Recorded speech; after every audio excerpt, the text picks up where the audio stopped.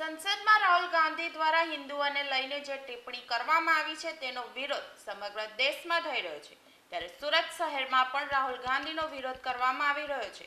રાહુલ ગાંધીના વિરોધ વચ્ચે સુરતમાં ભારતીય જનતા પાર્ટીના કાર્યકર્તા મુકેશ ગુજરાતી દ્વારા હિન્દુ વિરોધી ટિપ્પણી કરવા બદલ રાહુલ ગાંધી સામે કાર્યવાહીની માંગણી સાથે સિંગરપુર પોલીસ સ્ટેશનમાં એક અરજી આપવામાં આવી છે.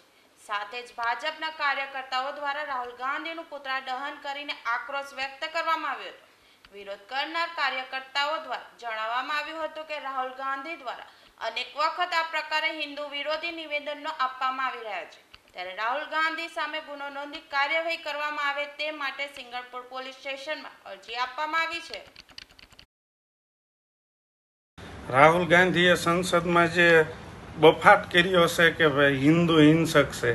તો તેના માટે અમે સિંગણપુર પોલીસ સ્ટેશનમાં અરજી કરી છે. તેના પર કેસ ગુનો દાખલ થાય અને કાયદેસરની કાર્યવાહી થાય. કારણ કે હિન્દુ હિંસક છે એવું એ વારંવાર બોલે છે.